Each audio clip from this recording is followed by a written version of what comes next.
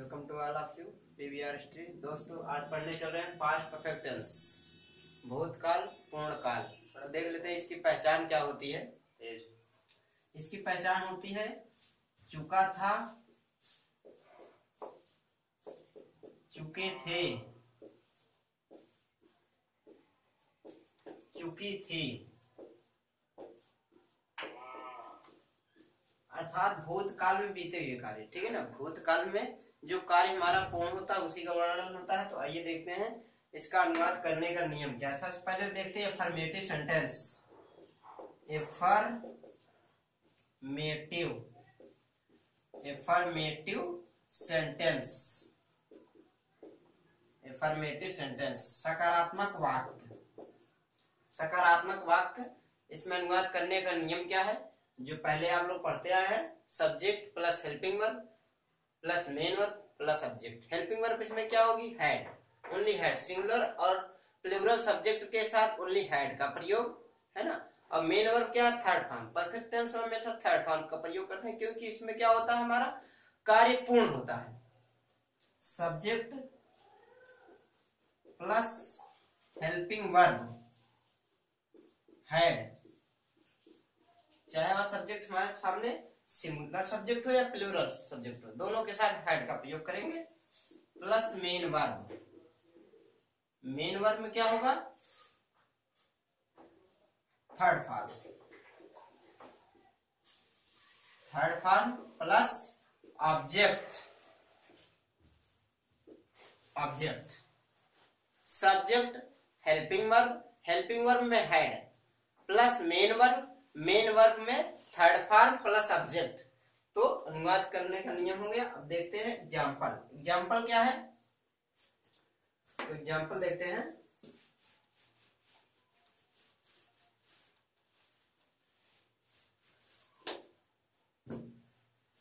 Example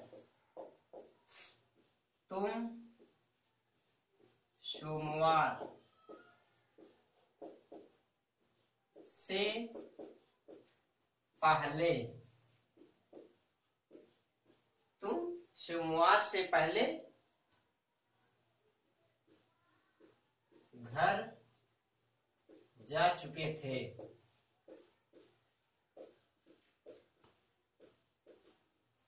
कह रहा, तुम सोमवार से पहले घर जा चुके थे, यू। यू क्या है? सेकेंड पर्सन प्रोनाउन है ना plural plural subject had had जाना मेन वर्ब है गॉन गॉन के साथ टू गॉन टू होम घर जा चुके थे। सोमवार से पहले तो मैं, इसमें प्रीपोजिशन क्या है? से पहले से पहले क्या है? प्रीपोजिशन है बिफोर मंडे बिफोर मंडे सोमवार से पहले। मैं एक सिमिलर सब्जेक्ट देखते हैं। वह अपना कार्य कर चुकी थी। वह अपना कार्य कर चुकी थी। She had done. She had done. क्या कर चुकी थी? अपना कार्य, हर वर्क। Her work. अपना कार्य कर चुकी थी। She had done, her work.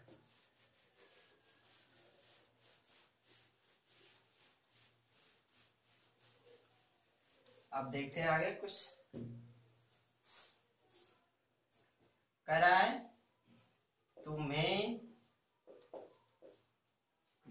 विद्यालय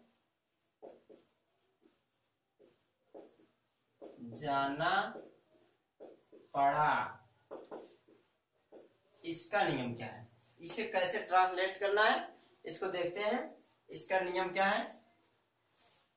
यू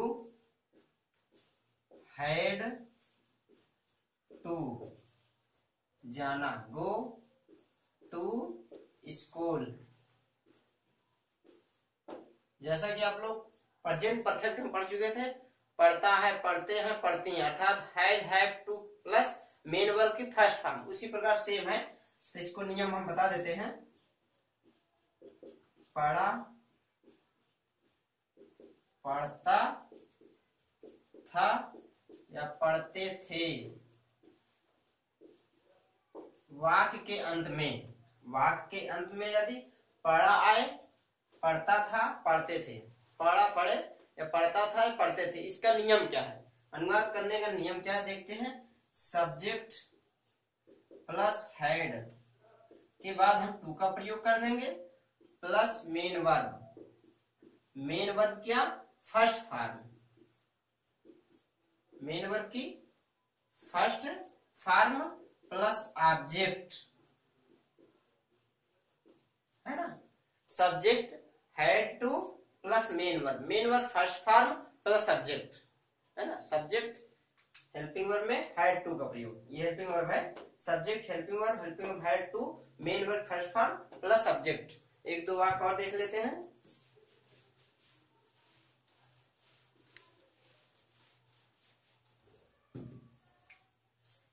मुझे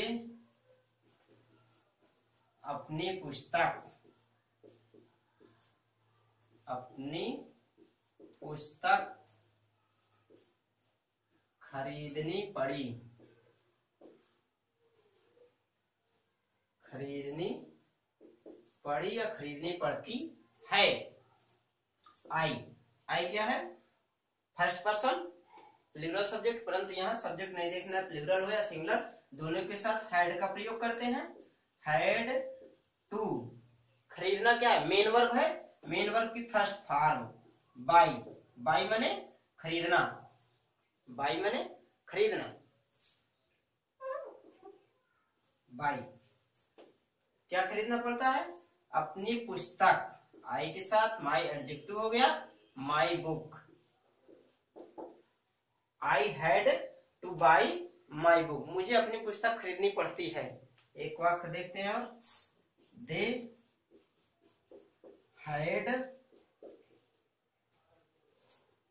हैड डैश ऐसा कर दीजिए had to, dash, mango,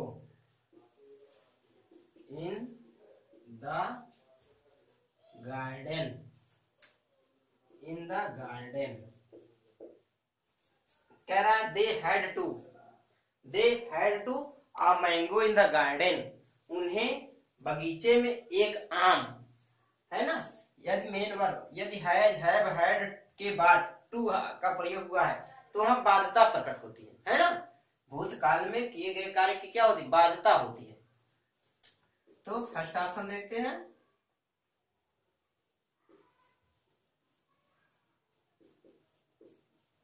second option क्या है? फ्लक्स थर्ड ऑप्शन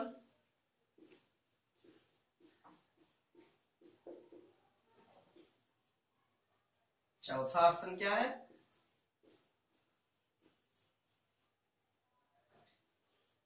है ना? कह रहा है प्लग यहाँ हैड के बाद क्या है? टू का प्रयोग हुआ है?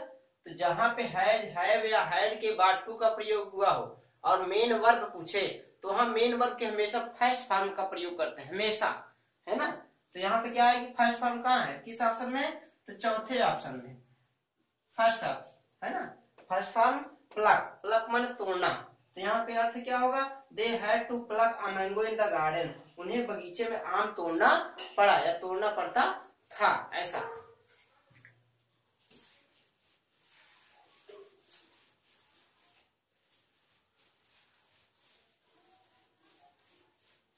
देखते हैं। बिफोर और आफ्टर का प्रयोग।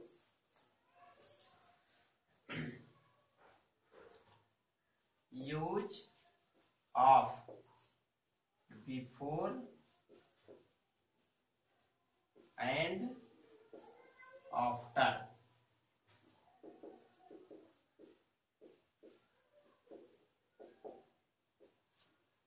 देखिए क्या कह रहा है। Use of before and after का प्रयोग। है ना?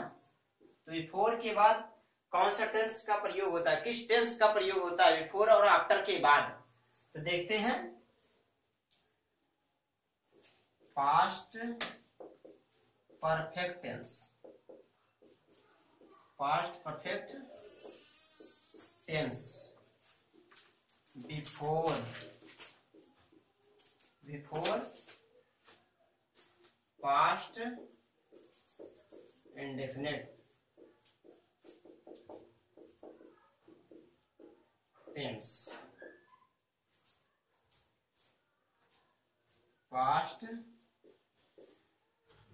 And definite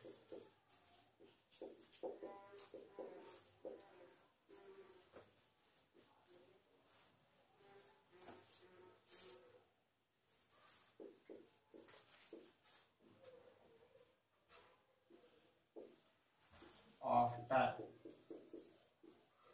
past perfect tense perfect tense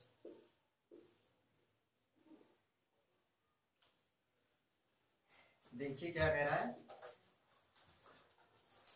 before after इसमें वाक कैसे पूछे जाते हैं?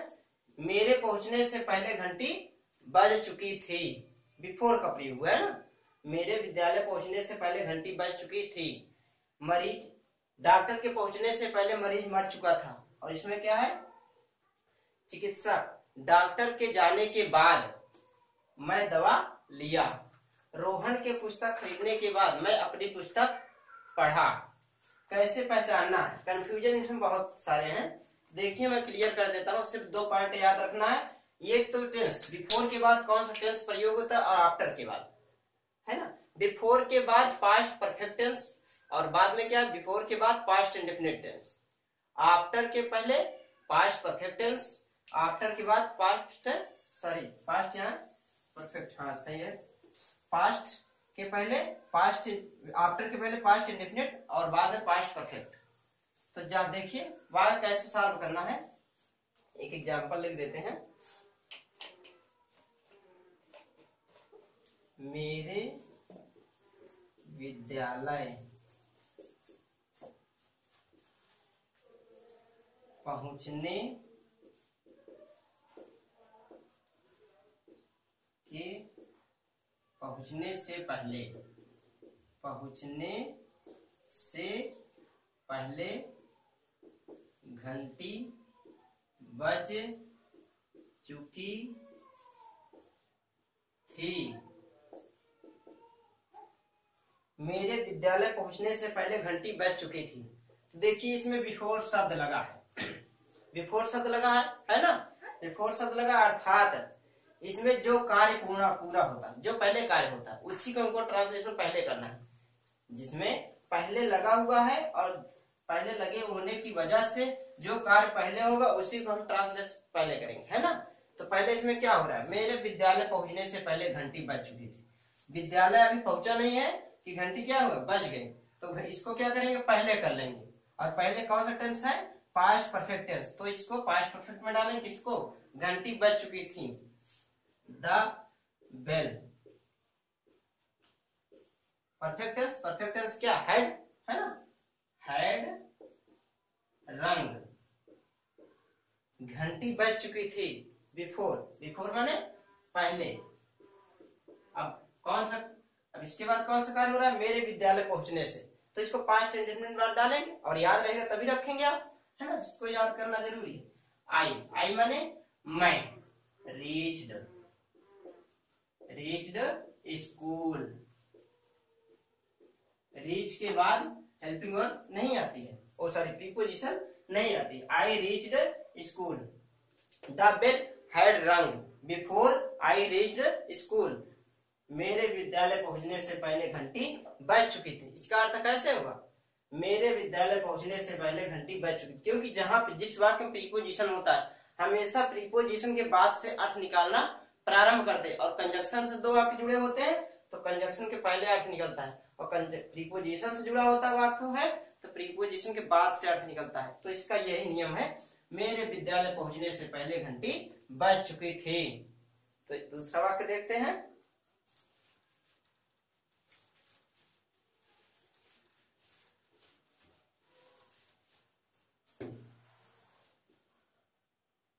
चिकित्सक चिकित्सक के जाने के बाद, जाने के बाद मैं दवा लिया। है ना? अब कह रहा चिकित्सक के जाने के बाद मैं दवा लिया। इसमें आफ्टर का प्रयोग हुआ, बाद का प्रयोग हुआ? तो इसमें जो कार्य बाद में होगा, उसको पहले लिखना है। उसमें जो कार्य, उसमें बिफोर लगा है, इसमें पहले वाले में क्या है? बिफोर लगा है तो जो कार्य पहले हो रहा है, उसको पहले लिखना है। परंतु इसमें जो बाद, है ना? आफ्टर लगा हुआ बाद लगा हुआ है तो जो कार्य बाद में होगा, उसको पहले ले लेना है। कह रहा चिकित्सक के जाने के बाद मैं दवा लिया। कार्य कौन सा बाद में हो रहा है? दवा लेने का कार्य बाद में हो रहा है, इसको पहले लिखेंगे और किस टेंस में लिखेंगे, याद रखना होगा। पास्ट इंडेफिनिट टेंस वैसे भी पहचान में आ रहा है, दवा लिया, है ना? यहाँ आ शब्द आया, है ना? तो क्या है? पास्ट इंडेफिनिट आई टूक लिया। क्या लिया? Medicine I took the medicine I took medicine मैं दवा लिया। अब प्रीपोजिशन है के बाद आफ्टर आफ्टर है ना? चिकित्सक के जाने के बाद। The doctor the doctor past perfect में डालना है है ना? तो यहाँ पे हैड गॉन इसका अर्थ क्या होगा? है ना? यहाँ प्रीपोजिशन है तो प्रीपोजिशन के बाद से अर्थ निकलता है। चिकित्सक के जाने के बाद मैं दवा लिया। आई took the, the medicine after the doctor had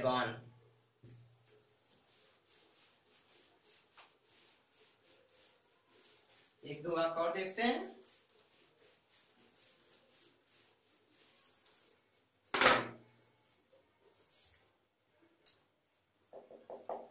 कह रहा है the patient the patient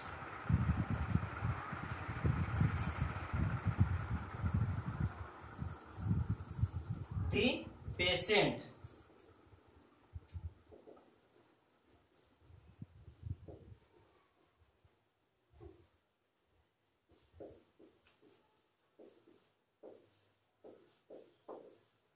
before the patient dash dead before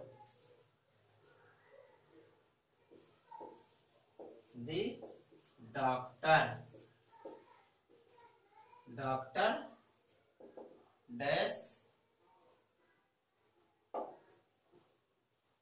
first option क्या है? ये आपका डैश है।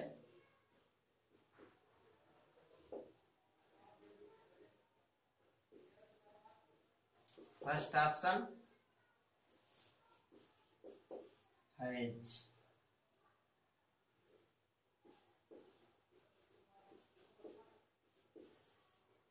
second option.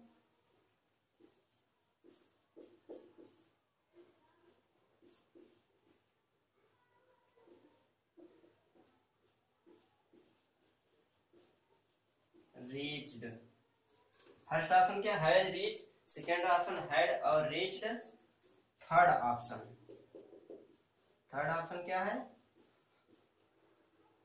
Has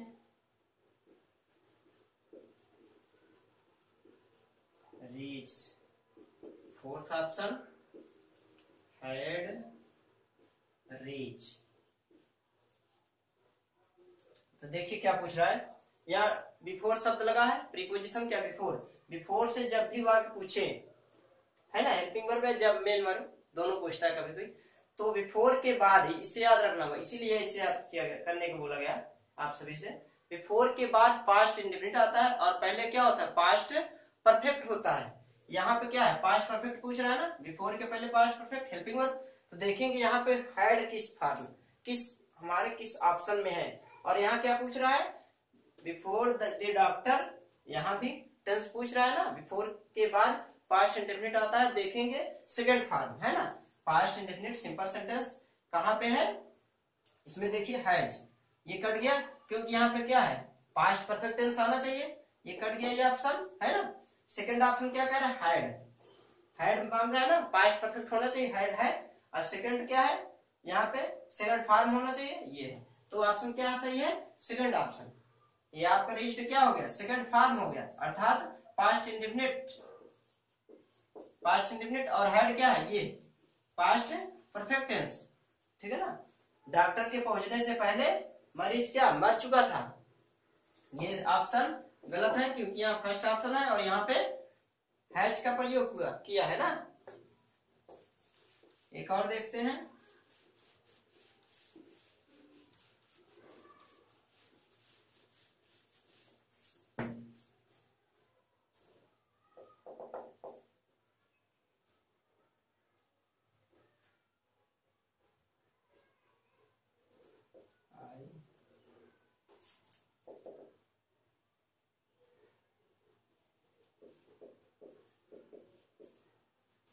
I dash after the sun.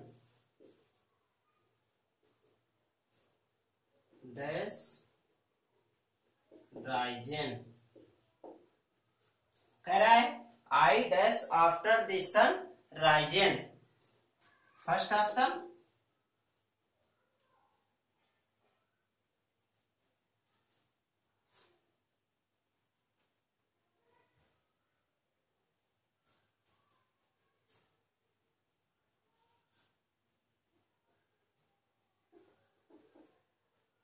सूर्य के निकलने के बाद मैं विद्यालय गया।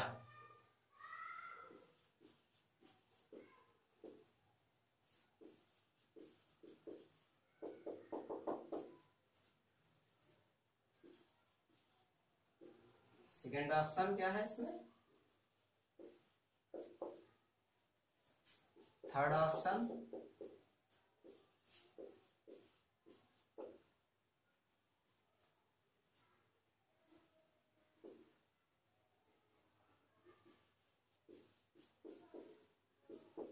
फोर्थ ऑप्शन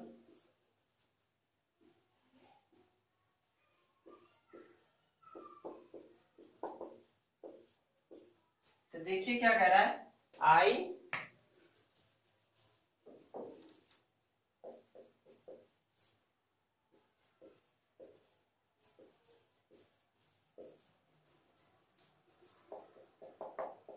कर I dash school after the sun dash risen after के बाद क्या? आफ्टर के पहले भी टेंस पूछ रहा है आफ्टर के बाद। है ना? टेंस पूछ रहा है कौन सा टेंस प्रयोग करना है हमें? तो आफ्टर के बाद क्या होता है? पास्ट परफेक्ट टेंस होता है। आफ्टर के पहले पास्ट इंडेफिनिट टेंस होना चाहिए। है ना? कॉम्बिनेशन दोनों ऐसे ही होना चाहिए। कह रहा है फ़र्स्ट ऑप्शन क्या है? वेंट यहाँ पे वेंट क्या है? ठीक तो है, परंतु यहाँ क्या है? सेकेंड ऑप्शन क्या है? प्रेजेंट दूसरा ऑप्शन प्रेजेंट है। प्रेजेंट परफेक्ट टेंस है ना? तो ये क्या हो गया? गलत हो गया? सेकंड ऑप्शन देखते हैं गो फ़र्स्ट फॉर्म जो कि इरर है, क्योंकि ये प्रेजेंट क्रिया प्रेजेंट इंडेफिनिट की हैड हैड तो सही, परंतु ये गो गलत है, इसलिए सेकंड ऑप्शन कट गया. थर्ड ऑप्शन क्या है? वेंट वेंट ठीक है? और हैड क्या है? पास्ट परफेक्ट है ना? तो थर्ड ऑप्शन क्या है? सही है. तो यहाँ पे वेंट चलेगा. वेंट टू स्कूल क्या है? पास्ट इंडेफिनिट है ना? आफ्टर के पहले पास्ट इंडेफिनिट होना चाहिए। आई वेंट टू स्कूल मैं विद्यालय गया। After the sun had risen had ये है तो क्या हो जाएगा? हैड है यहाँ पे। ठीक है ना? तो इसका अर्थ क्या होगा? सूर्य के निकलने के बाद मैं विद्यालय गया। तो इस तरह होना चाहिए।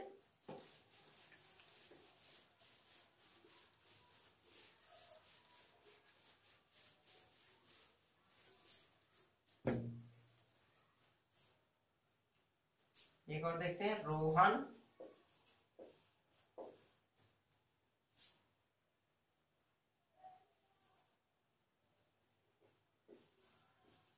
बाट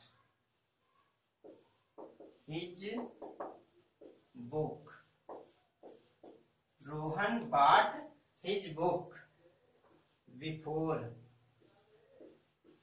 before I read my book. कह रहा है Rohan bought his book before I read I read my book before के बाद कौन सा टेंस होता है? देखिए बिफोर के बाद पास्ट इंडिफिनिट होता है, और बिफोर के पहले कौन सा टेंस होता है? पास्ट परफेक्ट होता है। तो यहाँ पे क्या इधर है? बिफोर बाट रोहन बाट हिज बुक रोहन अपनी पुस्तक पढ़ा। Before I read my book मेरे पुस्तक पढ़ने से पहले रोहन पुस्तक खरीद, खरीदा नहीं, खरीद चुका चुका था होना चाहिए ना? रोहन अपनी पुस्तक खरीद चुका था। तो यहाँ पे क्या होना चाहिए? हैड ये हैड लगेगा तो वाक्य क्या हो जाएगा? सही है? थर्ड फॉर्म है? ये, है ना? तो इस तरह।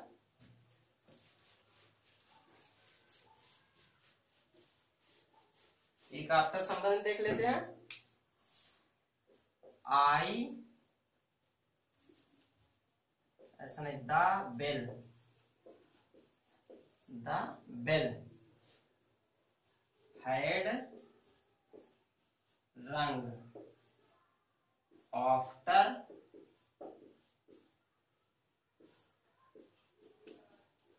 After. I had reached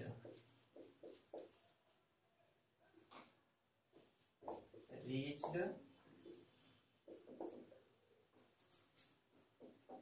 school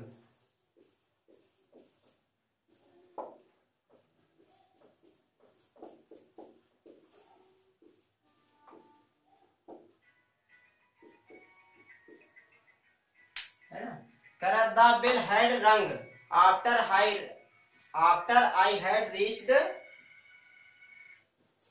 the bell had rang after I had reached school और थर्ड ऑप्शन क्या फोर्थ ऑप्शन क्या? नो इरर यहाँ आफ्टर शब्द लगा हुआ पहले चेक करेंगे आफ्टर के बाद कौन सा टेंस आता है?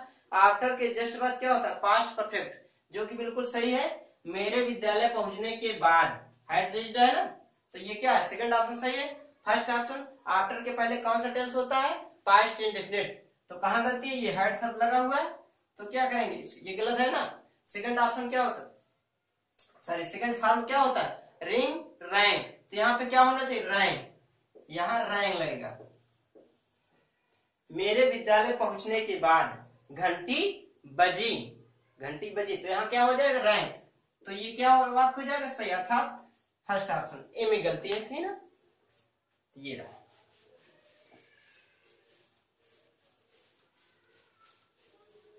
फ्रेंड्स यहीं पर ये, इस क्लास को समाप्त करते हैं। कल आप लोग पढ़ेंगे निगेटिव सेंटेंस